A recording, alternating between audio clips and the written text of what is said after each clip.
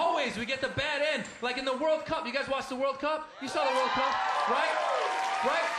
The famous headbutt, you saw the headbutt, right? And it was the French dude, Zinedine Zidane, and the Italian dude, Materazzi, and they were, it looked peaceful, it looked peaceful, and they were walking back, and Materazzi grabbed Zidane's jersey, you know, and Zidane turned to him and was like, you can have it after the game, you know, like to say like, oh, you are gay, let's go, you know, that kind of thing.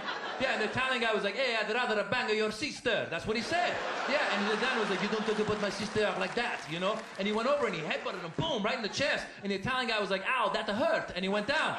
Yeah.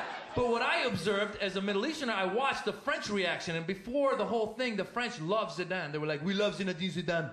Zinedine Zidane is one of us. He's a French champion. We love him. He is the best Zinedine Zidane. We call him Zizou. He is the champ. We love him." After the headbutt, they're like, "These fucking guys Algerian."